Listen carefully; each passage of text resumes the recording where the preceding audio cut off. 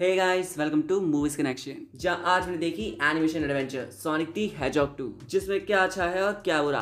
Detail में बात करेंगे। इसलिए वीडियो को एंड तक ज़रूर देखिएगा। चलिए अब बात करते हैं फ़िल्म की, जिसकी कहानी फोकस करती है ऑब्वियसली सोनिक पर, जो ग्रीन हिल्स को बचाने और सुपर हीरो बनने के अलावा। रेडी है अपनी फ्रीडम को एंजॉय करने के लिए, जो उसे टॉम और मैडी के वेकेशन पर चले जाने के बाद मिलती है। पर ज़्यादा देर तक नहीं टिकती, क्योंकि डॉक्टर रॉबर्ट ने वापस लौटते हैं अर्थ पर अपने नए दोस्त नकल के साथ, जिनका मकसद क्या है, और क्या सोनिक अपनी नई और पुरानी, दोनों ही मुसीबत का सामना एक साथ कर पाता है या नहीं? अपनी नई दोस्त टेल्स के साथ। वही जानने के लिए आपको देखनी होगी action adventure Sonic the Hedgehog two जिसके लिए पर्सनली मैं बहुत ही ज़्यादा एक्साइटेड था, क्योंकि बात अगर फ़र्स्ट पार्ट की करूँ तो उसमें अगर कोई वीक पॉइंट था तो वो था ह्यूमन प्लॉट जिस पर फ़िल्म बहुत ही ज़्यादा फोकस कर रही थी, जो मेरे जैसे हर एक फ़ैन का कहना था, जिसे सिर्फ़ फ़िल्म के डायरेक्टर ने सुना ही नहीं, समझा और फॉलो भी किया है। क्योंकि बात सेकंड पार्ट की करूँ तो वो पूरी तरीके से फोकस सीजीआई कैरेक्टर्स पर करता है, यानी सोनिक नकल और टेल्स पर, जो फ़िल्म का बेस्ट पार्ट है। बाकी कहानी कुछ भी नया, क्या बड़ा प्रेजेंट नहीं करती। सिंपल है, पर फ़िल्म में उसकी प्रेजेंटेशन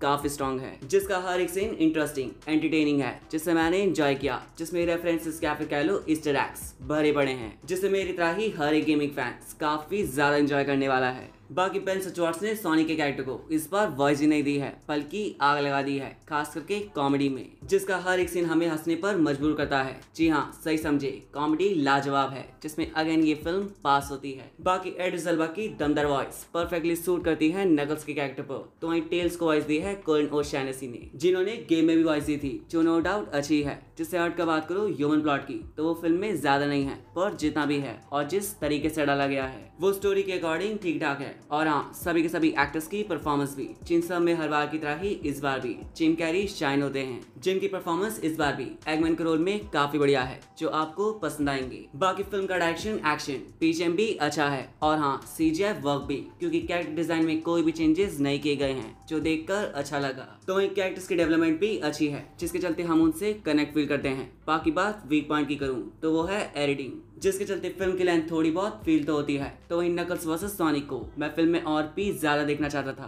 पर हाँ स्टोरी के अकॉर्डिंग वो भी ठीक ठाक है, जिसके हर एक सीन को आप काफ़ी ज़्यादा एंजॉय करने वाले हो। तो ओवरऑल मेरी नज़र में सोनिक दी हैजब टू एक फुली एंटरटेनिंग सीक्वल है, जिसे मैं फ़र्स्ट पार्ट से भी ज़्यादा बेहतर कहूँ तो वो भी गलत नहीं होगा, जिसे आप फैमिली के साथ भी देख सकते हो, और जिसे हमारे इंडिया में बाईस अप्रैल को इंग्लिश के अलावा हिंदी में भी रिलीज़ किया जाएगा। फ़िल्म सोनिक दी हैजब टू को मैं दूँगा फोर एंड हाफ़ स्टार्स तो फ्रेंड्स ये था सोनिक दी हैजॉग 2 को लेकर मेरा रिव्यू जिसे अगर आपने पहले से ही देख लिया है तो मुझे कमेंट्स में ज़रूर बताना कि आपको ये फ़िल्म कैसी लगी। और इसी के साथ खत्म होता है ये रिव्यू जो आपको पसंद आया तो वीडियो को लाइक चैनल को सब्सक्राइब ज़रूर कीजिएगा। See you in the next video bye